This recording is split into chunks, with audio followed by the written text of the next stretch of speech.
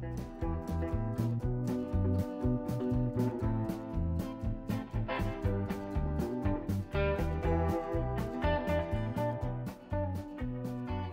and welcome to this DCP web tutorial. In today's tutorial I'm going to show you how to create a custom Google map with a route planner and custom markers.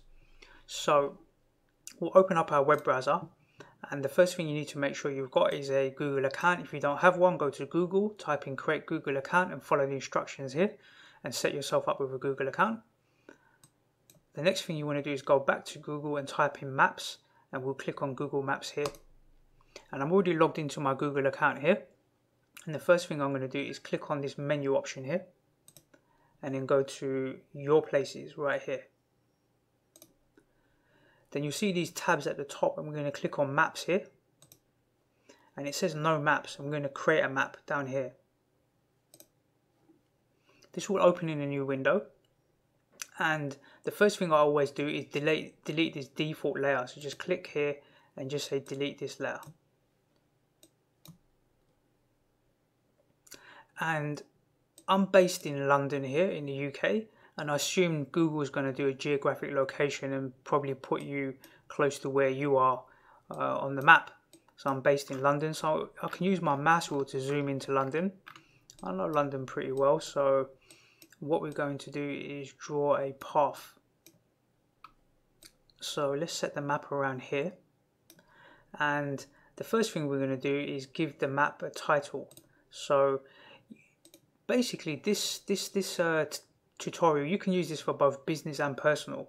So on a personal level you may be doing some sort of uh, getting together with some friends on the weekend and you want to show where you're going. So someone from maybe out of london is visiting you and you want to show a map as to where you're going to start. So they may meet you at that start place and you're going to show where you're going to go uh, it might just help them to get to that place where they understand what the journey is going to be. Or if it's on a business level, imagine if you're doing a charity event and you're going to be doing a walk, for example, and you're going to be walking across London and you may want to show the path of where you're going to be walking, for example, or if you run a a uh, delivery company or if you're um, if you run a bus company, for example, you want to show the bus route. If it's like a personal, you know, project or if it's a business related project, you can use this same technique for both. But in this case, I'm going to use it for personal. So I'm going to click on Untitled Map. I'm going to say uh, my weekend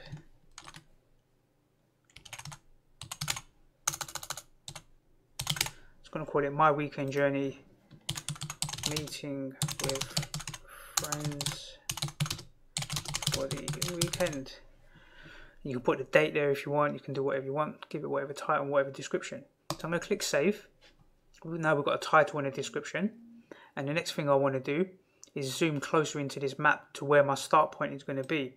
And I know that I want to start near Ilford Station. This is where I, I live quite close to Ilford Station. So this is where I want to start. Now I've got a few options. I can either decide that I'm going to be doing this journey by by foot, by walking, or by car and in this case I want to do it by foot so I want to show that I'm walking so in this option here it says draw line you can see add a line or shape add driving route add biking route or add walking route. And in this case I'm going to use walking route because normally I do this walk uh, most weekends whenever I go I normally do this by foot. So I'm going to click add walking route. And when I click add walking route you'll see that there's this new uh, section here. It's called untitled. So we're going to click on that walking here. And on the map we're going to double click where we want to start or in fact we can just single click here so we're going to start here near Ilford Station and after I've clicked I'm going to start drawing on the map the route that I'm going to be walking so when you get to a point where you can't see the map anymore you can just left hold down the mouse button and drag it and we're going to be walking all this way all the way down this road called Romford Road. It's quite a long road. We're going to keep walking.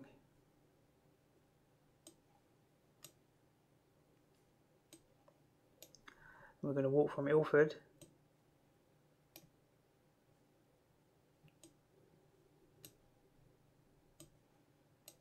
All the way down this road. And we're going to get here. We can now zoom out a little bit to see where we're going right so we're going to come down this way. And we're going to go down this road here Carpenter's Road. And we will go down this way here.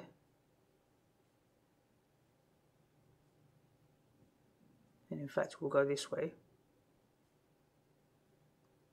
And we'll end up here which is right near the Olympic Stadium. So when we get to the end point we just double click. And that will give us from point A to point B. So we move and then it will give you the location. So you're moving from point A to point B. This is named unknown unnamed road. It's not really a road. It's actually right near the Olympic Stadium. And sometimes I do that walk when I'm going to go watch a football match. I'll walk from here to there and uh, yeah it's quite a long walk. This untitled layer we can get rid of this, we don't need this so we're going to right click delete then we just have this one layer here. Now once we've got that layer done we can create more like this so from from here from Olympic Stadium if we're going to go somewhere else we can draw another route I'll show you that in a moment but along this route, we may want to put a custom marker, right? So here you can see the carpenter's arm. So this is a pub. You can see there's like a little pub symbol here, like a drink symbol. So along this way, we may stop off here and have a drink before we go and watch the football. So let's put a, we're going to create a new layer. So add layer, click here. And this will be a new layer. And in here we're going to click add marker and we're going to put a marker here and we'll say in here point one we delete this text here let's have a drink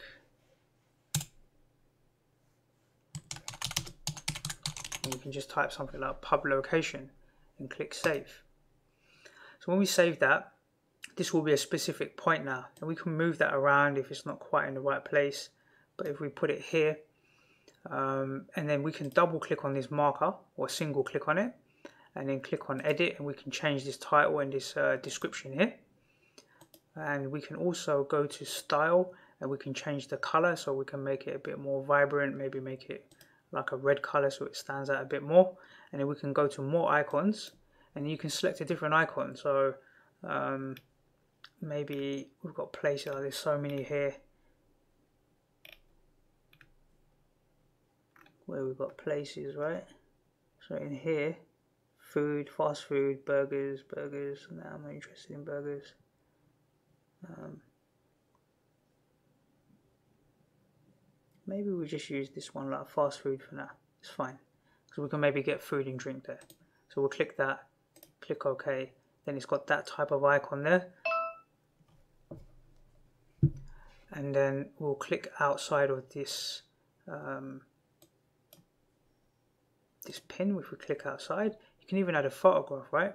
So we click add image uh, we can um, probably drag an image here right? So let me find the suitable image for any image will do. Let's uh, let me quickly find an image.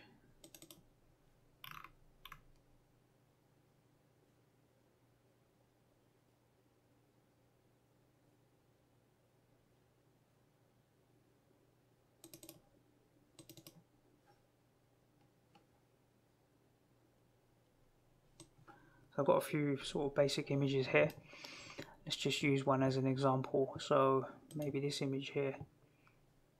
Let's take that image drag and drop it in here.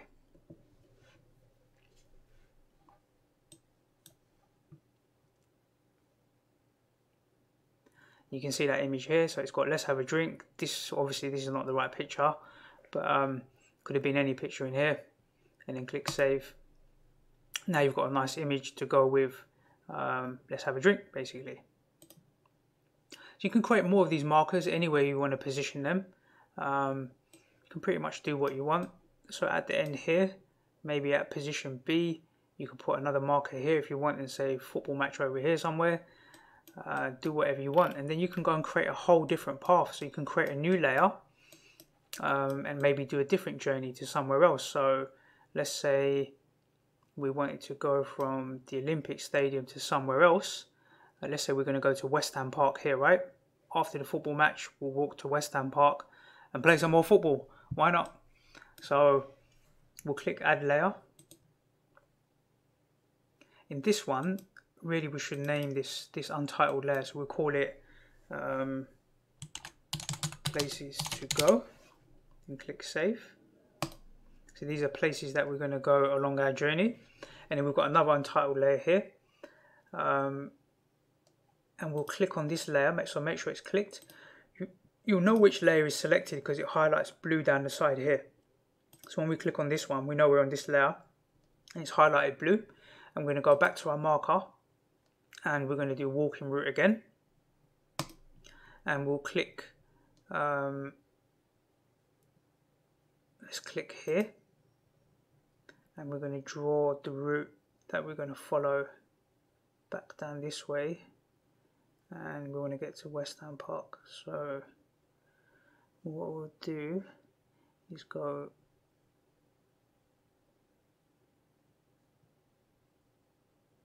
in fact we'll go this way. Let's go the scenic route.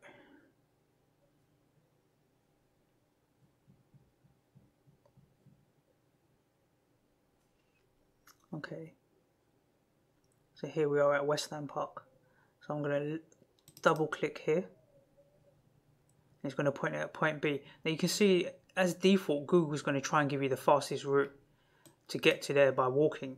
So if you don't want to go that route and you want to go a different route all you need to do is find a marker point like this one here. See this marker here? Highlighted. Let's zoom in a little bit. And we can drag that marker to a different location right? So we drag it here then it will take this route which is uh it's just a nicer walk you could say. So that's how you're going to go and put another location um, for that specific route. Now I'm pretty sure uh, if we click here we can edit the name. So let's call this going to the park and click save. So now that layer is called going to the park.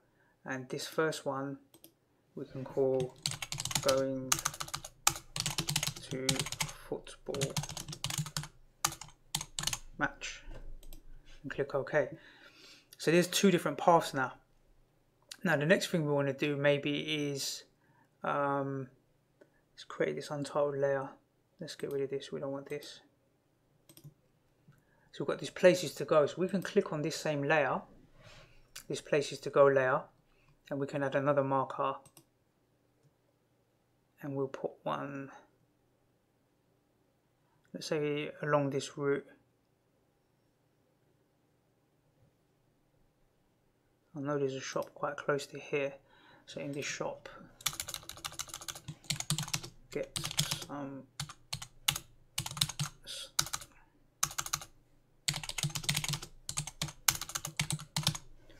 so we may go past here near the shop and get some food while we're at the and we can click save. You can add a description if you want.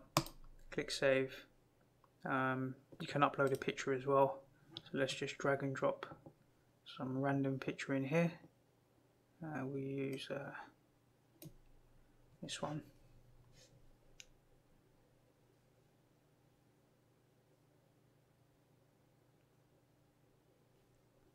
We've got this other image in here. We can click save and then close this so now you can see how you can build those paths. Now you could use this for business purposes right? So you could say imagine if you tend if you're doing an event and this is where your office is and this is where the location of the event is. You could draw this map and then send this map to all of your staff and say look this is where we're starting and this is where we where we need to be something like that.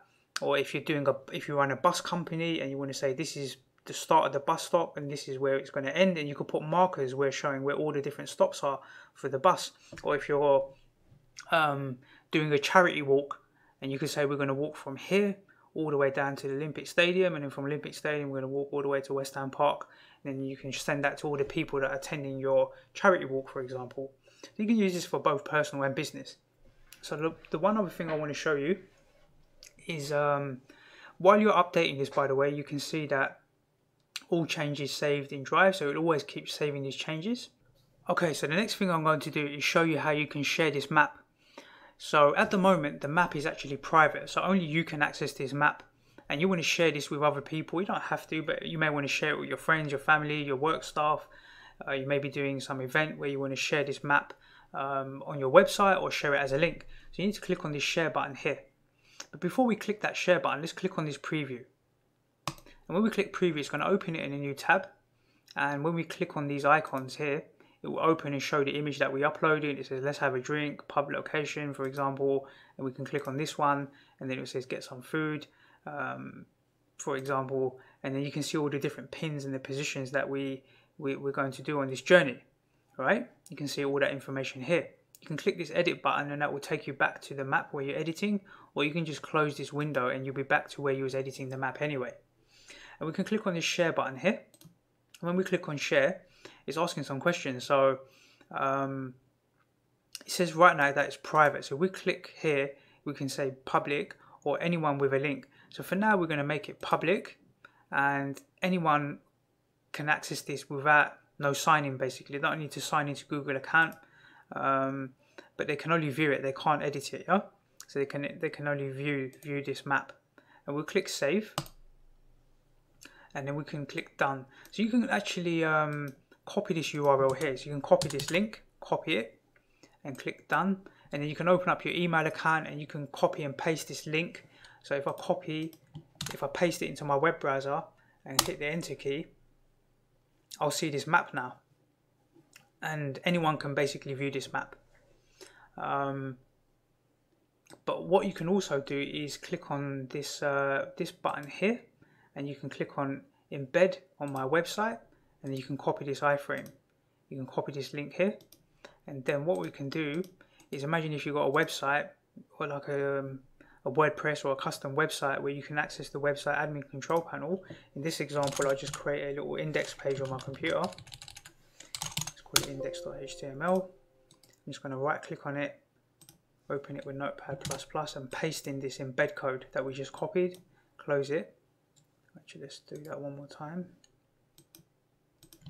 Need to save this close it and then we can open this up. And then we've got the map here. And we can have this on our website on a news item or on our web page somewhere. And people can click in and zoom. So this this will be more related to business. Or if you had a personal blog or if you had a business or this was your charity walk now you can actually display this on a web page within your own website and people can even click on the links and see the, the image uh, here you can click on this one and see the image. And this could be related to an event that you're that you're doing like a charity walk or something like this. It can even be a bus map a bus route. Anything really from A to B from A to B. Okay so I'm going to close this. The next thing I'll do is just go back to share and I'll go back to here and set it to private again so no one can really access this. I'll click done.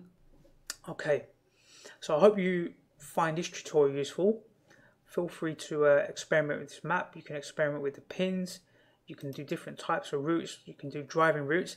Uh, the reason why I use the walking route um, is because you can't really drive into this part of part of London where this where this this uh, Olympic Stadium is. You have to walk there, but you could have done a drive all the way up to around somewhere like here, and then you could have done a walking route. So you can use two different types. You can use drive and walking route. You can use bike route as well. Experiment with it, see how you get on, and that is going to be the end of this tutorial. And I look forward to seeing you on the next DCP web tutorial.